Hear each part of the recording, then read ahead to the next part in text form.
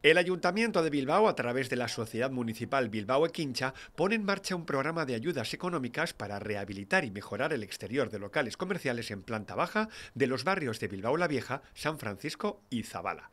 Entre los elementos objeto de mejora destacan escaparates, incluyendo mobiliario y decoración, rótulos e iluminación exteriores, cambio de persianas, pequeñas obras exteriores como la reforma de la fachada y también la mejora de accesibilidad a los locales.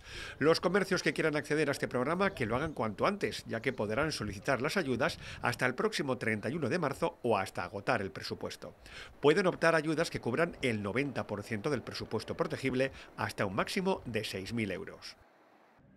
Tras dos años de pandemia, esta Navidad los ciudadanos volvieron a disfrutar del proyecto Bilbao Gabonac del Ayuntamiento de Bilbao, que se ha consolidado como referente de ocio, comercio y cultura, con gran éxito de participación en todas sus actividades. El Arenal y el Muelle de Ripa se han afianzado como el centro neurálgico. Por estas zonas han pasado 100.000 personas. La pista de hielo sintético de 800 metros cuadrados y el tobogán de seis carriles de deslizamiento han atraído a más de 73.000 personas. El Chiquigune ha divertido a más de 27.000 niños y niñas y además para facilitar la reserva de entradas y evitar las colas se ha apostado por los medios digitales y un 78% de los usuarios y usuarias de estas instalaciones han realizado su reserva previa a través de la web.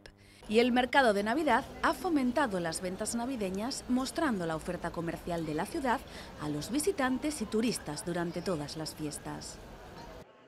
El aeropuerto de Bilbao ha cerrado el año 2022 con un total de 5.129.583 pasajeros, lo que supone una recuperación del 86,9% respecto al año 2019. Durante el mes de diciembre, 395.777 pasajeros han hecho uso del aeropuerto para realizar sus viajes. El tráfico nacional se ha recuperado en 2022 en un 98,8% sobre las cifras de 2019, obteniendo hasta 3.307.164 pasajeros nacionales, mientras que los viajeros internacionales se han recuperado un 71,1% frente a 2019, con un volumen total de 1.811.566 pasajeros.